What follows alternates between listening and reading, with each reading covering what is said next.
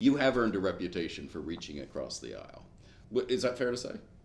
Yeah. I mean, you do, there are a lot of Republicans who you have worked with. Yes, like yes, yes, yes. But there's one big exception Ted Cruz. I think Ted actually uh, co-sponsored an amendment of mine in the immigration bill that, or the uh, immigration reform. But you don't like him very much. Uh, I probably like Ted Cruz more than most of my colleagues like Ted Cruz. But you used a, a political technical term in your book to describe him. Starts with a B. uh, I believe in your book you referred to him as a butthole. Oh, oh, I observe U.S. Senate uh, protocol and uh, don't use uh, words that uh, a senator shouldn't use.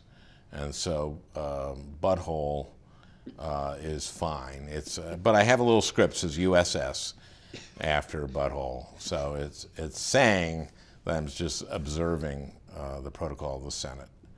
A dunderhead, But dingus. these are not words you would use on the floor of the Senate.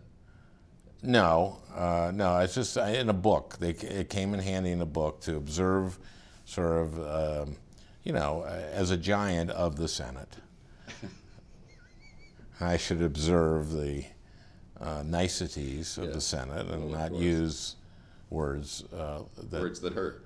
wor- words that butthole would substitute for. So butthole was the mild version of what you were thinking.